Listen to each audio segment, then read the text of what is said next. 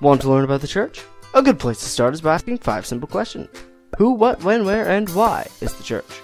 Do note that when we say church, we mean Catholic Church, which is a short way to say one holy Catholic and apostolic church. These are the four marks of the church and deserve their own video, but for now we're just going to leave them at that. Who? All people who are baptized, profess the Catholic faith, and recognize the Pope as the visible head of Christ's church are part of the church. What? Basically, the church is a collection of all Catholics. In other words, the church is the congregation of all baptized united in the same true faith, the same sacrifice, the same sacraments, and under the authority of the Pope. When?